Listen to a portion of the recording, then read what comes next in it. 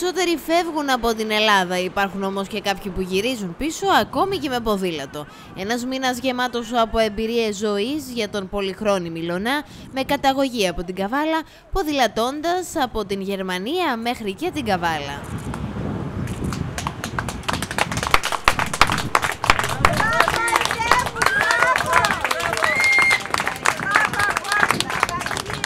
Ονομάζομαι Μιλωνάς Πολυχρόνης, κατάγομαι από την Καβάλα και ξεκίνησε ένα εγχείρημα να τιμήσω τα 100 χρόνια τη μικρασιατική καταστροφή και μαζί με αυτό ε, τις 19 Μαΐου που είναι η μέρα μνήμης γενοκτονίας των ποντίων.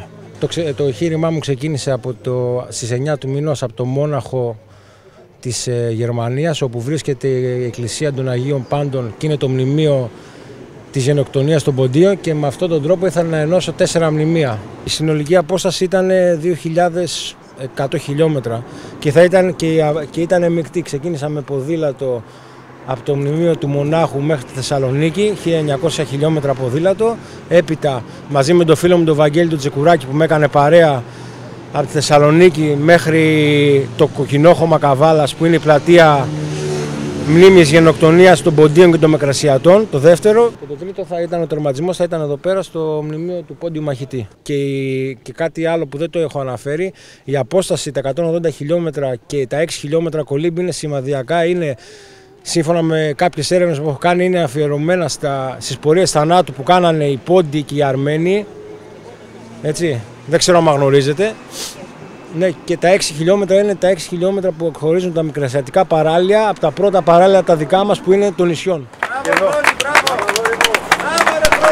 μπράβο,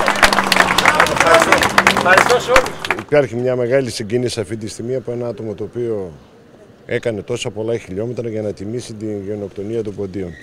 Ε, όλοι με κάποιες τελετές, με κάποιες εκδηλώσεις προσπαθούν να μην ξεχαστεί αυτό το γεγονός το οποίο πραγματικά στήχησε πάρα πολύ σε όλους τους Έλληνες.